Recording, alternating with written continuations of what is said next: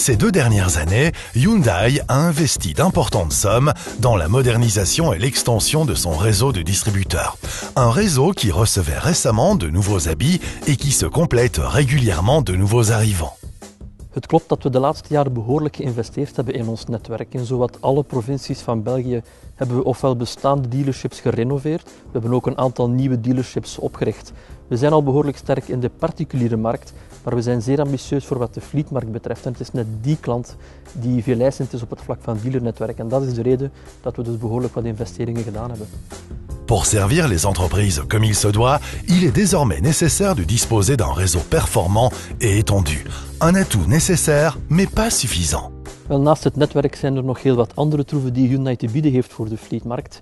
Niet in het minst ons ongeëvenaard garantiepakket van 5 jaar met onbeperkte kilometers. Daarnaast hebben we ook een uitstekende reputatie op het vlak van betrouwbaarheid. En we hebben er ook alles aan gedaan om onze residuele waarde van onze modellen zo hoog mogelijk te houden. Dat komt ook mede door de uitstekende motorisaties die we aanbieden met lage CO2-uitstoot. Dans le milieu du fleet, on a aussi coutume de dire que tous les investissements du monde ne sont rien si l'on ne dispose pas du bon produit. Hyundai heeft inderdaad een heel uitgebreid gamma. We zijn aanwezig in alle segmenten die belangrijk zijn voor onze fleet-doelgroep. En we gaan nu ook de zogenaamde Business Editions lanceren. Deze Business Editions die vertrekken vanuit onze meest ecologische motorisaties en we voegen daar dan uitrustingen aan toe die echt op de fleetmarkt geënt zijn. Samen met Hyundai Lease zorgen we dan ook nog voor budgetvriendelijke tarieven en dat is natuurlijk belangrijk voor deze doelgroep. Pour Hyundai, cette fin d'année sera également importante avec l'arrivée de nouveaux produits.